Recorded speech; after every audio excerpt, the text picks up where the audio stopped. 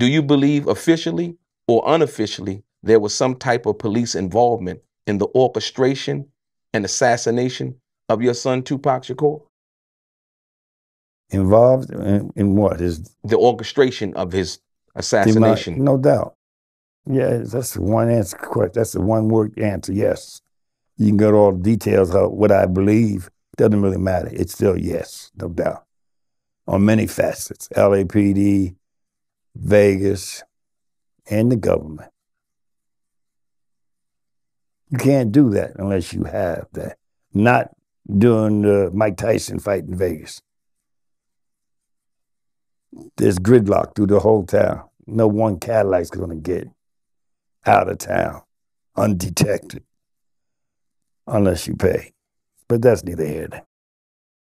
Are you satisfied with the Las Vegas Police Department's investigation and patience and finally making the arrest in the murder of your son Tupac Shakur? No.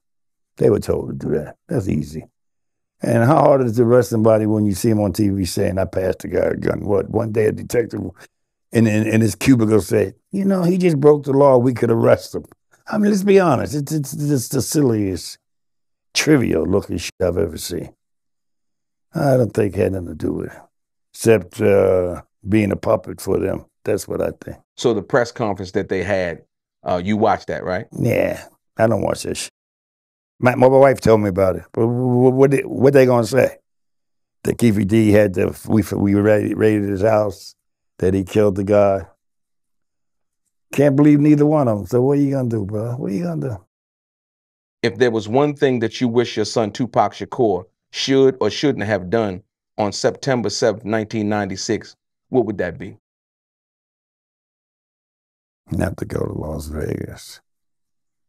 Should never went to Las Vegas, and he damn sure shouldn't initiated the fight. Why would the record director of the biggest company in black industry allow his star, his number one moneymaker, you would have tackled him 10 yards out once you saw where he was running to. Y'all all follow. You seen the tape? They all following around. He's just clowning, acting up a fool and shit. Ain't paying attention to none of the environment. And somebody come whisper in his ear. Why didn't the person whisper in the Suge Knight's ear? Trey, whatever his name was. Unless you wanted this individual to go over initiate some fights with him. Told him the guy with the chain who stole this over there. My son being gullible, he is fired up, happy, just off. And Mike Tyson fight, feel like fighting. And then here come these clowns behind him, doing the same shit he just said. So one of them is grabbing his ass. I said, that's enough. And dragging his ass out of that fucking lobby. So it was a setup.